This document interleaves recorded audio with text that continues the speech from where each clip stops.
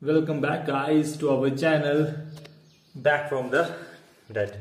So guys in this video i will tell you about the woman who is trending all over social media. In previous video i have tell you about this incident that happened in the uh, ota ward tokyo city that a woman who does not follow the traffic rules. But now all all over social media audience and public wants to know who is that real who's the woman and what's her real identity, what's her real name, and uh, the history of that woman, and what was her motive to do all this thing. Everybody all over social media is talking about this matter and why she ignored the traffic light that it does not exist. So it become a big topic all over social media.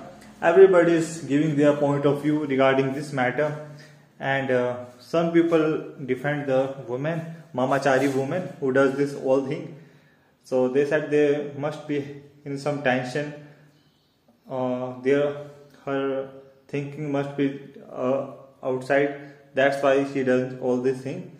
But some people said she must obey the traffic rules. And uh, she need to drive her uh, bike in a right direction. So guys which side are you on and uh, what's her real identity? You what do you think about her? You can share this. So mamachari woman everybody is talking about her. So that's it from my side. Keep supporting our channel. Back from the dead